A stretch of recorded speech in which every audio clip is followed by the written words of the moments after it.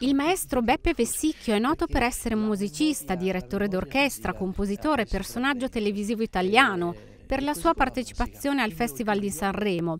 Ma forse in pochi sanno che il maestro ama collegare la musica alla natura, appurare e sperimentare le straordinarie proprietà che il suono ha sugli esseri viventi ed in particolare sulle piante. La musica infatti aiuta a far crescere meglio le piante e probabilmente le sue proprietà vanno oltre quello che attualmente conosciamo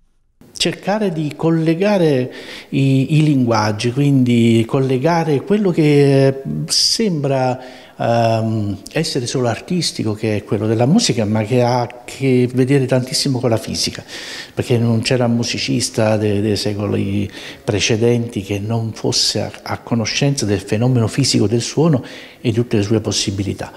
E quindi collegare per esempio ecco, la scienza con, con, con l'arte, credo che...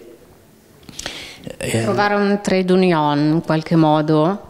Guardi, il collegamento secondo me c'è da sempre, perché il suono è un fenomeno fisico, ma non solo con, con, con la fisica, ma anche con eh, il verbo, con la parola, il rapporto tra il suono specifico e, e il suono della vocale. Eh, un po' ecco, la musica, la musica come linguaggio universale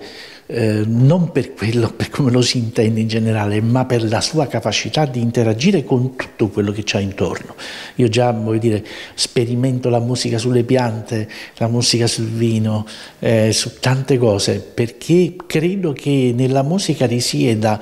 mm, risiedono proprietà eh, che, che vanno oltre quelle che noi conosciamo.